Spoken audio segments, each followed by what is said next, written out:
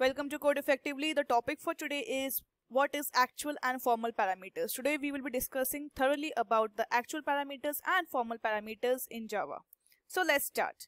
What exactly is actual parameters? So you will understand actual parameters are those parameters that actually as the name suggests actual so that actually contains the value okay they contains the value and what are the formal parameters they contain the value that are being passed by the actual parameter. Okay, they don't have any other value. They take the value and from where they take the value? They take the value from the form from the actual parameter.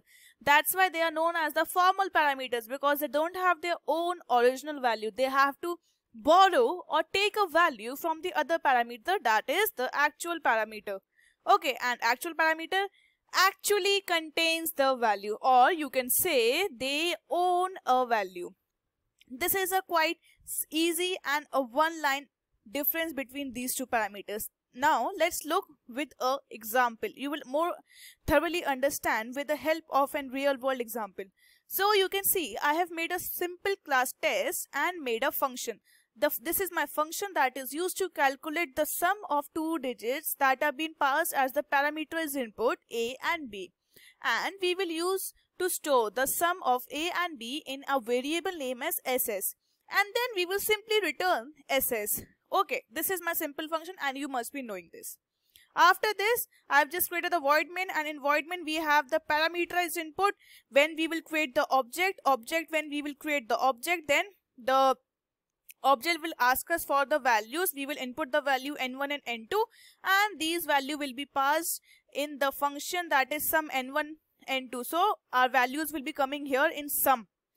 And whatever the value the sum will return that is it will return ss and this ss value will be stored in s and we will simply display the sum of the numbers. This is a very easy one.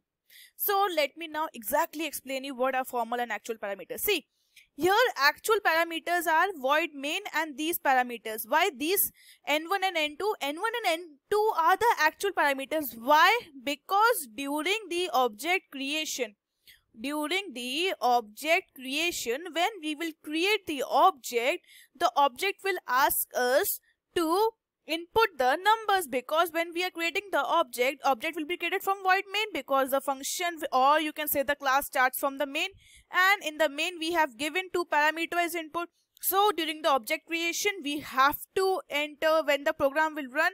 It will ask me to input the value of n1 and n2 and let's say I pass the value of n let's say 3 and n2 as 5 okay now these eh, now n1 is equals to 3 and n2 is equals to 5.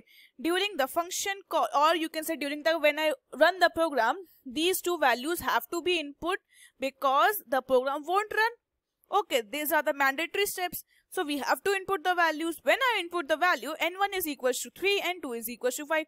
So these are having their original values that are being input by the user. Okay, then the uh, another line that will be executed will be int s is equals to sum n1 n2 sum. So the program or the control will look for the function that has a name sum. So we will come here and we will see yes we have a function name as the int sum. Now here it is asking for the value int a and int b. From where it will get the value as you can see I have already mentioned sum and in the break brackets I have mentioned n1 and n2. So I will pass the values of n1 and n2. What are the values of n1 and n2? 3 and 5 as you can see here. So these 3 and 5 value will be passed into a and b.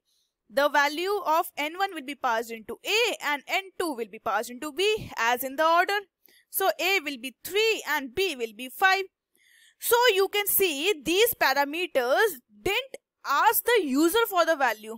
They didn't ask the user for the value. They took the value of the other parameters. That was N1 and N2. That's why they are known as the formal parameters because they didn't ask the value directly from the user or you can say directly from the programmer. They took the value from another method or another function. Okay. So they values from where did they get the value? They get the value from another method or the function that is they are getting the value from the void main because void main is actually containing n1 and n2 and these n1 and n2 values are being copied in a and b for the int sum function to run. So a and b don't have the original value. Actually what is happening? This n1 value is getting passed into a and this n2 value is getting passed into b okay so that's why they are known as the formal parameters and n1 and n2 are known as the actual parameters because these values they have the actual what exactly they have the actual values that have been passed by the user. So what exactly happens a is equals to n1 is equals to 3 and here b is equals to n2 is equals to 5 so a is having value 3 but who is the intermediate it's n1 they are not having their original value. Original value of 3 was of n1 is 3 a is having the value of n1 and what is the value of n1 that is 3 so a is having in 1 2 and 3 steps. But n1 is having the value in 1 and in the second step.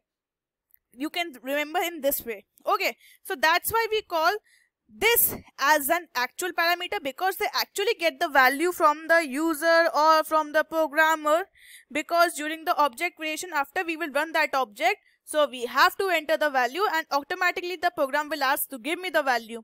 But in this the program won't ask the values. The programmer or the program won't ask the values.